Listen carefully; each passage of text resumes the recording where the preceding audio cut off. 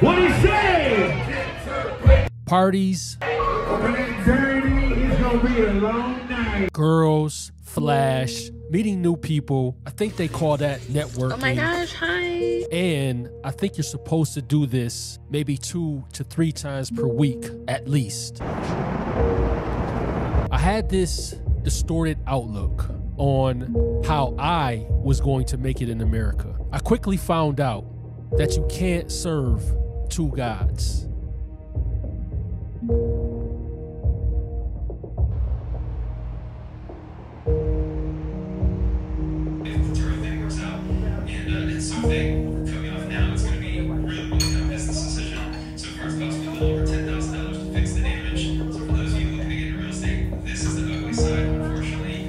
If making it in America is based on who you know, where you stay, or how much money you make, this should be a cakewalk.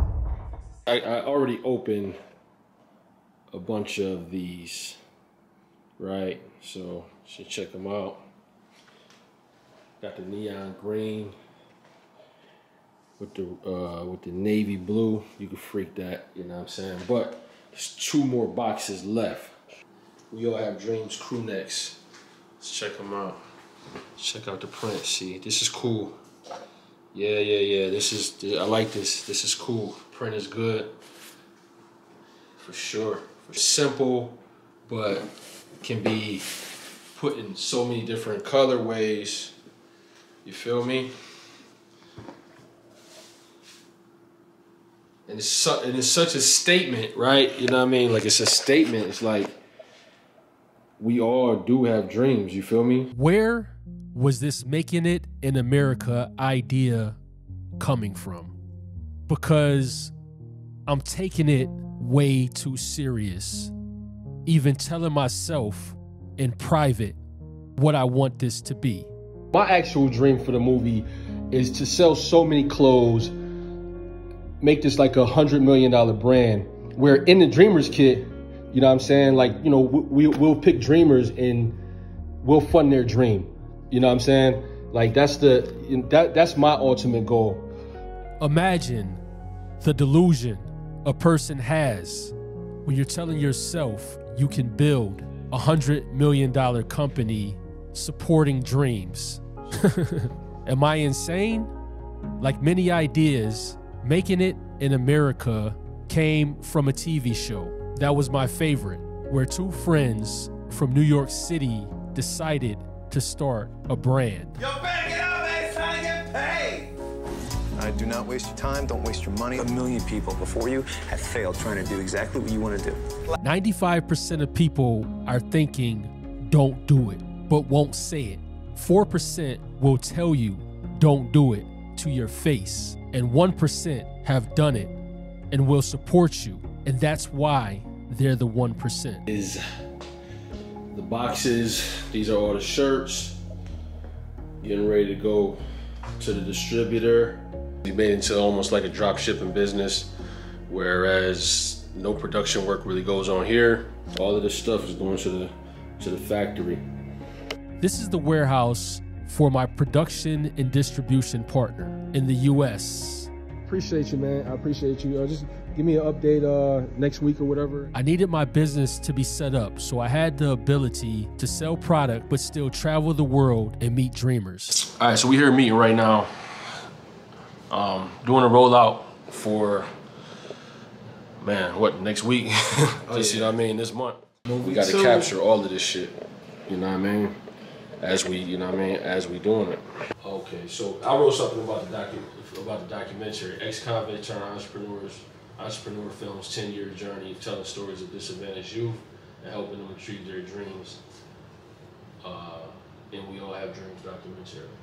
That's perfect. Honestly, I ain't even gonna lie, because it gives the people enough and it gives them the right information, where it's like, okay, we can make it, make it happen. So you know what I mean. So maybe we do. So maybe we do that, and then also launches. You know what I'm saying? Launches the brand to continue. You know what I mean? To continue the journey or something like that. Oh no, no, yeah. See, and then that plays into a two-part story because you can Right. give, we're giving them one thing into the next, Like that's why if we show up on their page multiple time, it, I mean multiple times, it makes it look less like advertisement. This rollout was for a documentary series I made about a 10 year journey I went on. Right behind Good Morning America, one of the producers, GMA Booking at ABC.com. I said, And we wanted this outcome for our series. Anytime you start anything with a naiveness and an amateurism of not knowing what you're doing, you just don't know what's not possible. What's And that's a good thing. Yo, yo, yo, so we got the photo shoot going on right now, All Dreams, you know what I'm saying? Top roof 35, you know what I mean? We got my man right here, my man Stick playing the trumpet player, you know what I mean? saying we got the film, we got the filmmaker, you know what I'm saying? We got the filmmaker, you know what I mean? And then we got so yeah, you know, that's what we got going on right now. It's a photo shoot, support our dreams. Super, super exciting. You know what I mean to be doing this.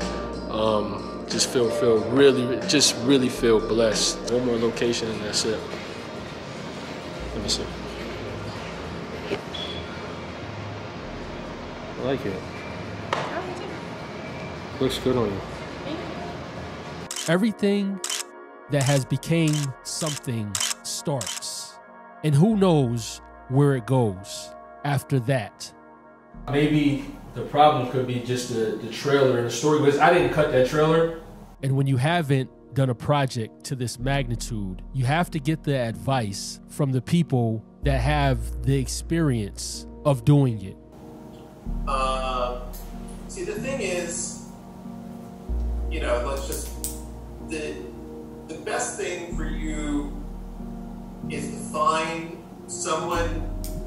If you can, find, I I don't think this trailer is successful.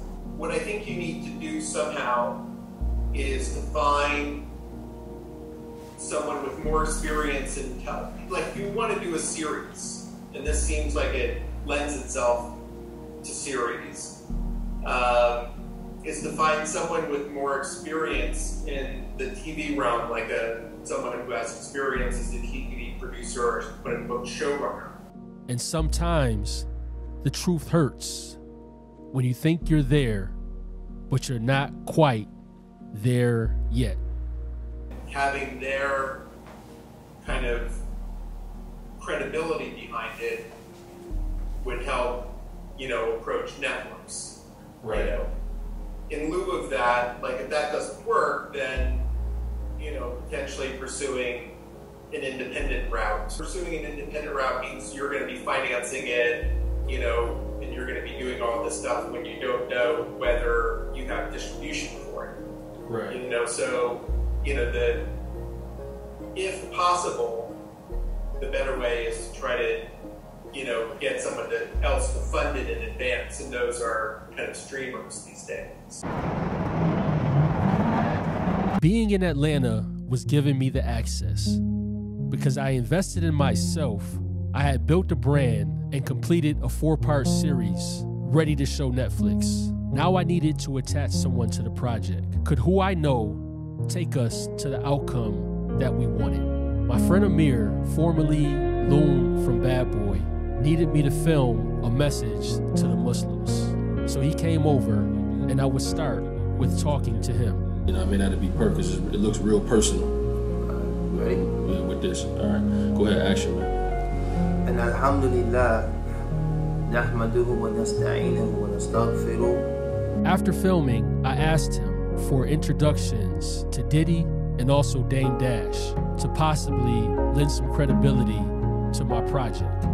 Another connection I have was with a producer named Lisa France that currently has a documentary on Netflix that was distributed by Ava DuVernay's company. And possibly, if she can give an introduction to Ava, that might get us our outcome. Then Gronk's dad gave me an introduction to LeBron's partner, Mav Carter.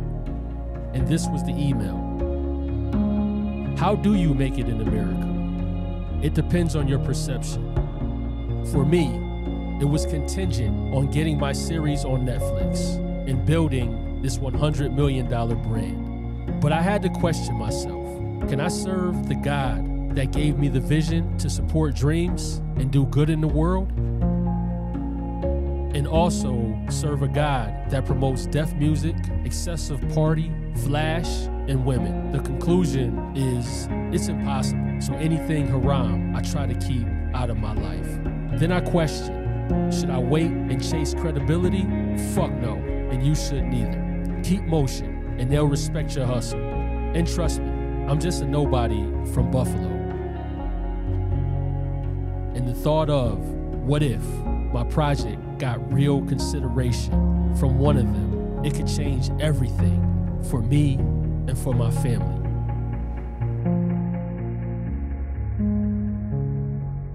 Imagine getting warm intros to Diddy, Dame, Ava, Maverick. They are so high up, you can't even expect them to reach back, even with a warm introduction. But I'm always gonna try because, hey, you never know. And why not think how to make it in the world? And if I'm good enough, they will find me. And one day, I might have built that $100 million brand and have a Netflix series. For now, I know YouTube is worldwide. So here I am in Cartagena, Colombia, taking my vision of supporting 1 million dreamers international. Thanks for watching. Please like, subscribe, and comment, and continue to follow this journey. Look, right, look, we're on our way to Cartagena. Turn up. Next wave. Y'all. Hey. My God.